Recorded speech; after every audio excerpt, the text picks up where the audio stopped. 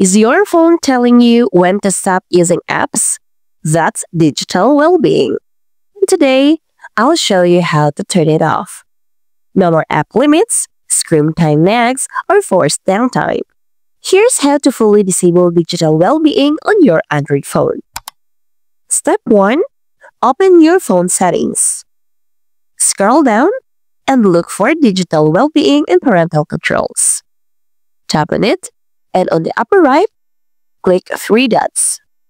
Select Manage Your Data. Toggle this off, then tap Turn Off in Setting. Now, select Digital Wellbeing, then toggle this off too. Go back to Main Digital Wellbeing and Parental Control section, and as you can see, there is no data app usage available here. And that's it. No more screen restrictions. I hope you found this video helpful. And if you did, don't forget to like, share, and subscribe for more videos. Thanks for watching and I'll see you in the next one.